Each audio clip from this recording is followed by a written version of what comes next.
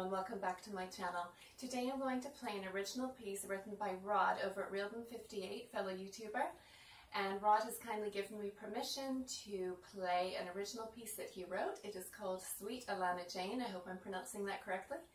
And this is my interpretation of it on the harp. Hope you enjoy.